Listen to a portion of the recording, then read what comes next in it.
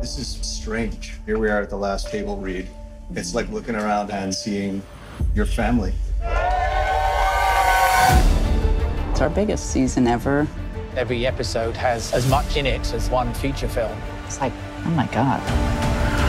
What was I thinking? Winter's coming, yeah. I can't even begin to imagine how this is going to look on TV. Here we go. Been doing night shoots. I'm broken. I could not have worked harder. I really have given this everything I have. It's such a magical place. It's hard to say goodbye to everybody. That was Emilia's last shot on Game of Thrones.